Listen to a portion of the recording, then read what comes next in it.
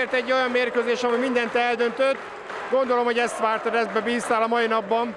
Hát ezt kicsit száfolnám, mert nem minden döntött el, mert nekünk még van egy mérkőzésünk a Ferencvárosnál, és ez a csapat, amelyik még nem kapott ki a rájátszásba, bárhol ö, pontszerzési esélye van. Én azt gondolom, hogy a, a, a Gyöngyös talán jobban nyomta a tét, hiszen nekik az utolsó lehetőségük volt, nekünk azért volt, lett volna még egy lehetőségünk, de ezt a mérkőzést vártam, fantasztikus küzdelem folyt a pályán, azt gondolom, hogy megérdemelten győztünk. Milyen volt ez a bajnokság, és különösen a rájátszás? Az a egész bajnokságban rengeteg csapás ért minket, rengeteg sérülésünk volt, betegségünk, évközben távoztak, távozott játékosunk, rájátszásra állt össze a csapat, és ez bizonyítja, hogy az öt mérkőzés alatt három győzelem mellett két döntetlen volt, nem kaptunk még ki a rájátszásba, illetve akkor játszottunk a legjobban, amikor legnagyobb szükség volt rá a rájátszásban.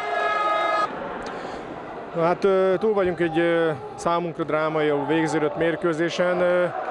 Volt a mérkőzésnek, én úgy érzem, olyan szakasza, amikor lehetett volna fordítani, mennyire éreztette így esetleg az első játékrész végén, vagy a második fél elején? Az az igazság, hogy a taktikailag felkészültünk, újdonságot nem hozott a mérkőzés, amire nem tudtunk felkészülni, vagyis én személyesen nem tudtam felkészülni, hogy ennyi zicsert és ennyi helyzetet hagynak ki a játékosok. Egész héten arról beszéltünk, hogy koncentráltak leszünk, odafigyelünk, megpróbáltuk levenni azokat a lövéseket, amikkel eredményesek tudunk lenni, kivideóztuk, ennek ellenére, ennek ellenére egy idegenbeli meccsen ennyi hibával játszott csapat az egyértelműen vesztésre van ítélve. Az ellenfél kapusai nagyon jól védtek viszont, vagy lehet, hogy én láttam rosszul, de az tényleg tény, hogy rengeteg zicsert kihagytunk. Van-e még tétje, vagy már nincs tétje a hátralövő egy fordulónak? Mindenképpen van tétje, mert bármi történhet a magyar NB1-ben. Egyetlen dolog az biztos, hogy ez a szerkezetű csapat, ami gyöngyösön van, az a jövő héten befejezi pályafutását.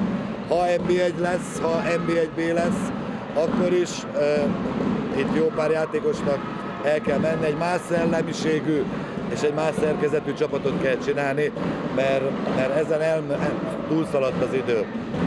Ebben a válaszban viszont számomra az is benne van, hogy Nagy Károly edző munká, munkája továbbra is él gyöngyösen, tehát marad gyöngyösen. Jól érzem? Igen, igen, maradok gyöngyösen, ezt eh, nem most, hanem már hetekkel ezelőtt megbeszéltem a, az elnök úrra. Én, aki a pályafutásomat ismeri, eh, én általában 10 év, 7 év, 6 éveket voltam bárhol edző. Én nem akarok lehajtott fejjel ballagni eh, Gyöngyösről, én hiszek abba, hogy itt előbb-utóbb jó kézlabdát lehet csinálni. Ha szerencsénk van, akkor előbb, ha nem lesz szerencsénk, akkor utóbb, de, de mindenképpen egy olyan csapatot kéne csinálni, ami örömet tudna okozni a gyöngyösi szurkolóknak, mert valljuk be őszintén, ez a csapat még nem az a csapat.